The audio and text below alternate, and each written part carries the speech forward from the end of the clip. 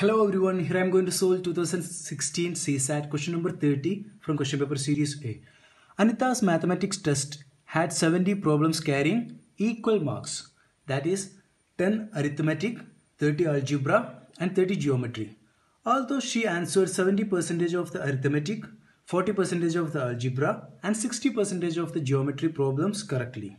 She did not pass the test because she got less than 60% of marks.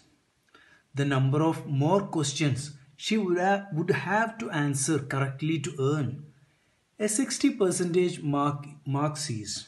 So here Anita's mathematics test contains 70 problems and each problem problems carry equal marks 10 for arithmetic 30 for algebra and 30 for geometry. So total marks is 70 and there are 70 questions. That means each question carrying 1 marks. 1 mark. So here there are 3 subject and uh, arithmetic there are 10 questions. Uh, in algebra there are 30 questions. From geometry section there are 30 questions. Then it is said that she answered 70% of the arithmetic question questions 40% of the algebra questions and 60% of the geometry questions correctly. So 10% of the uh, 70% of the arithmetic question that is this 10 equal to 10 into 70 divided by 100 we get 7 similarly 40% of the this 30 we get 12 and 60 percentage of this 30 we get.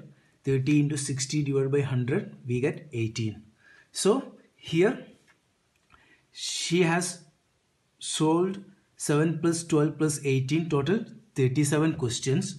Each question carries uh, one mark. So 37 questions she will get 37 marks. Then it is said that it is this 37 marks is not enough. She uh, should get at least 60 percentage mark to, marks to win to pass this test. So passing marks equal to 60 percentage of this 70 that is 42.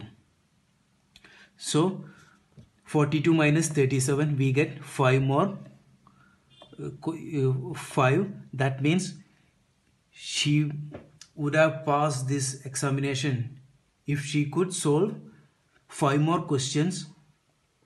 That means five more marks.